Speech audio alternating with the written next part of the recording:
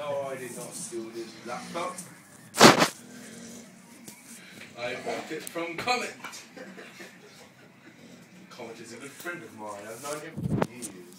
When he first started his business, I was his only friend. Now he is worth billions. Woo! Have you been drinking, sir? Fuck off. Of course I've been drinking. I'm Scottish. Want some of my haggis? No, thank you, sir.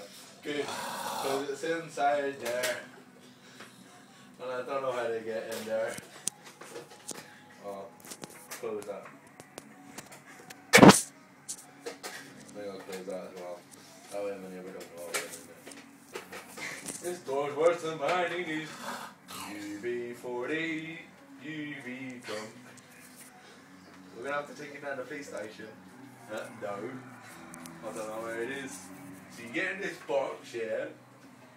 This one, yeah, the one I'm in. Bloody doors up there when cheap landscaping Polish people. Building my house from. Anyway, you get in here like I am, but you close the doors, but I can't at the minute 'cause I'm talking to you. And then it takes you anywhere in time. Like I could go back 10 minutes ago before I started that laptop. I mean, before you got here, and before you accuse me of stealing this laptop, even though I bought it from Comet, my good friend, Mr. Comet, give me a hug.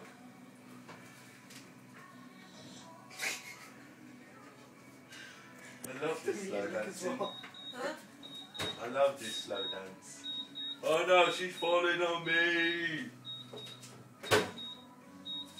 Oh no, my